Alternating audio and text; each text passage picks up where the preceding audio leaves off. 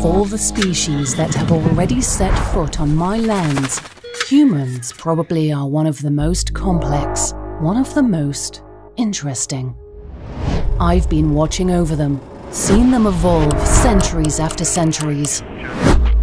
It seems that today, they might have a crucial choice to make. We're at that point right now in the 2020s where civilization could collapse or we can take it to the higher order. Humanity needs to make foundational choices. Everywhere, some of them understood that something has to be done to maintain the original harmony. You are seeing a lot of uh, problem due to what's happening with a lot of, uh, of, of CO2 emission and beyond expectation. Believe me, I wish things were different. So, whether over the next 10, 20 years we collapse or we break through to an amazing new world depends on our choices.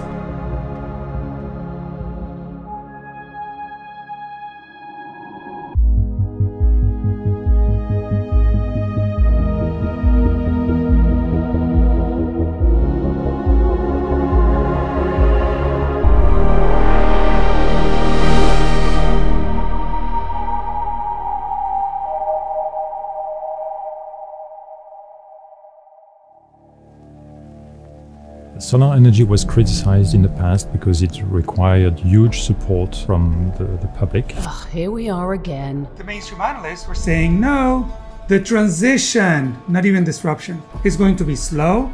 It's going to happen in the 2040s or 50s. It's going to be expensive. Does this technology is reliable? Can we make a lot out of it? What will be the future of this technology? We looked at the following question Is an electric power system composed only of solar, wind, and batteries possible? Is it possible by 2030? A lot of people don't think it's possible. My co author and me, we looked at the history of humanity, essentially 10,000 years of humanity. Our conclusions were astonishing. Well, I have mine too, I'm afraid. The same processes of change and disruption that apply at the product level, at the sector level, also apply at the societal level.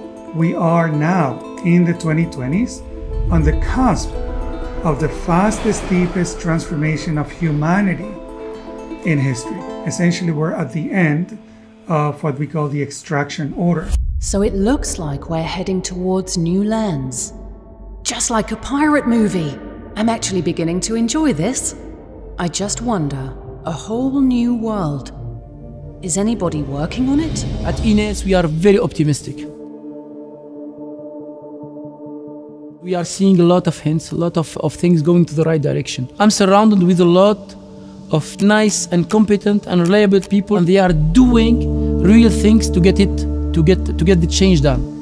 We are serving this strong ambition of Europe and the whole world of decreasing the CO2 emission. Oh, sounds like allies to me. But wait, who are you again? It's very simple. My name is uh, Anis Jouini. I'm Frédéric Storck. I'm Tony Seba. And I'm can call me Gaia. I'm heading the solar technology department at CEA Ines. I'm the director of energy transition and innovation at CNR in Lyon, the French leading producer of exclusively renewable energy. I'm the co-founder of RethinkX. CEA, as you know, is more than 20,000 researchers in France on different activity. One of them is the energy sector. Our mission is really clear. It's innovation for industry. It needs to be competitive, it needs to be eco-friendly, and you need to make it in, in a very short time in total agreement with the common roadmap between the industrial partner and us.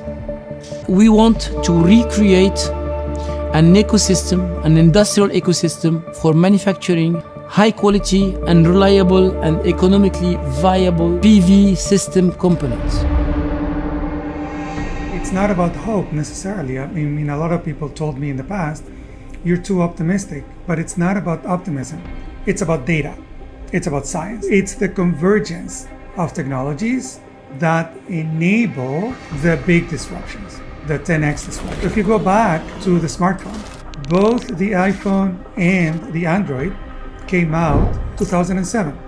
Why 2007? That's because all the technologies to build a $600 smartphone converged 2007. Another lesson of disruption is convergence. Wait a minute. What's a disruption? I, I mean, a 10x disruption. Henry Ford used to say that when people asked him, the early 1900s, about cars, they said that all they wanted was um, a faster horse. You know, he was not building, the car was not a faster horse. The, the car was a 10x disruption. It went 10x faster, it went 10x further, it was 10x cheaper, and so on. But why did nobody see it coming? The fast horse syndrome. Before disruptions happen, mainstream analysts and experts and insiders um, essentially have the what I call the fast horse syndrome. The, the car allowed us to build a whole new economy, um, for good or worse, right? Uh, it enabled the oil economy, it enabled the car economy, it enabled suburban life, it enabled the highway system. So essentially, 20th century society was built on that innovation, the car disruptions, once they tip, once the old system ruptures and the new system tips, it happens very, very quickly.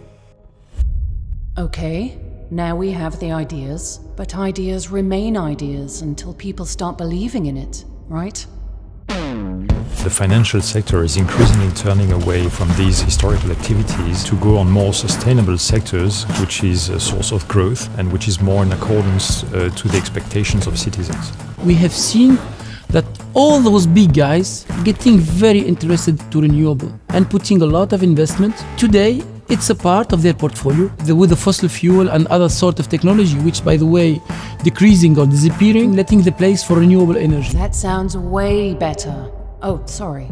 Carry on. They will be one of the main players pushing renewable to a new phase, to a second phase, completely different than the one that we have seen till today, because we are not anymore fighting about the, PV system, is it competitive or not, so it's reliable technology, and the whole PV system is getting uh, really more and more reliable and more and more economically competitive uh, towards a smart solution which can be combined everywhere. It's in there, and how to get it sustainable for long term. It will be a new era for renewable energy and for PV with those players who really are very present in the energy sector.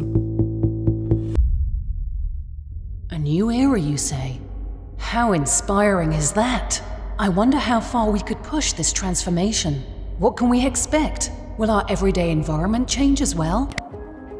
Think about the idea that everything will be energy. PV is cheaper than structural plywood. So don't just make cheaper solar panels. We're going to have cars with, you know, solar on top. We're going to have, you know, houses and not just on the rooftop. For instance, we are currently working with Ines at CNR to integrate solar on the Rhone dikes. We are trying to design linear power plants rather than rectangular, which will provide uh, great sources of production, around 1 megawatt per kilometer. That sounds amazing! That changes everything. This implies opportunities for the relocation of the industry, so it also implies job creation. We must now focus on making it more efficient to meet more the demand for electricity, thanks to a better integration in the electric grids, thanks to storage, and thanks to uses, which is the objective of NEX2S.